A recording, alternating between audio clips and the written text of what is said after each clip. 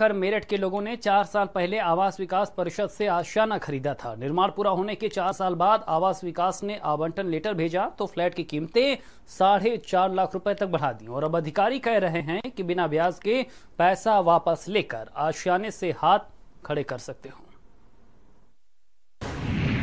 आशियाने बांटने वाले विभाग की अराजकता। वसूली पर आमादा है आवास विकास विभाग। पाँच साल में दिया घर, अब वसूल रहा गुंडा टैक्स।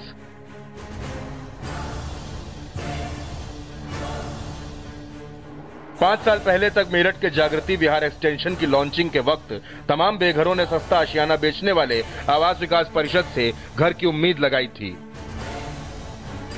योजना लॉन्च हुई और आवास विकास ने 19 लाख रुपए में 2 बीएचके फ्लैट देने का ख्वाब दिखाया। वादे के मुताबिक आवास विकास को बुकिंग के 36 महीनों में आवंटी को फ्लैट देना था, लेकिन भ्रष्ट अफसरों और नाकारा इंजीनियरों ने इस निर्माण को पूरा करने में साढ़े चार साल लगा दिए। वक्त ज़्यादा लगा और आवास विकास का पैसा भी तय बजट से ज़्यादा इन्वेस्ट हो गया। मगर आवास विकास अब इस भरपाई का बोझ आवंटियों की जेब पर डाल रहा है। गाँव को तो अगर ये आवास विकास की टीम यहाँ के इंस्पेक्शन करे तो उनको पता लग जाएगा क्या कमी है इन मकानों में। आप बाहर से हालत देख लीजिए। नीचे से अभी दरार पड़ गई इस बिल्डिंग की साइड में।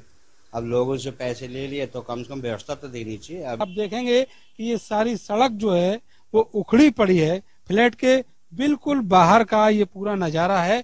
और दूसरी तरफ़, ये गंदगी का आलम आप देखिए, इसके अलावा जो डक है, इसको खुला छोड़ दिया गया है, जिसकी वजह से तमाम जीव जंतु यहाँ पर घुस जाते हैं। जो सीलन है, फ्लैट्स में सीलन भी आ रही है। आप देखिएगा ये सीलन है ये ग्राउंड फ्लोर का फ्लैट है और सेम स्थिति जो चौथे फ्लोर है वहाँ पर भी है आवास विकास ने इस इलाके में सैकड़ों करोड़ रुपए की लागत से कुल 2,306 फ्लैटों का निर्माण किया। जिस वक्त अफसरों ने यह प्रोजेक्ट बनाया मेरठ में फ्लैट कल्चर दूर दूर तक नहीं था। नतीजा ये रहा कि बीते कई सालों में आवास विकास महज 1045 फ्लैट ही बेच पाया। बाकी बचे बारह फ्लैट दीमक और सीलन के चलते नहीं बिक पाए और सफ़ेद हाथी बनकर खड़े हैं। आवास विकास अब अपनी नाकामी का ठीकरा आवंटियों के सिर फोड़ रहा है। अलग अलग कैटेगरी के लिए अलग अलग रकम देनी होगी, जो तय राशि से ज़्यादा है।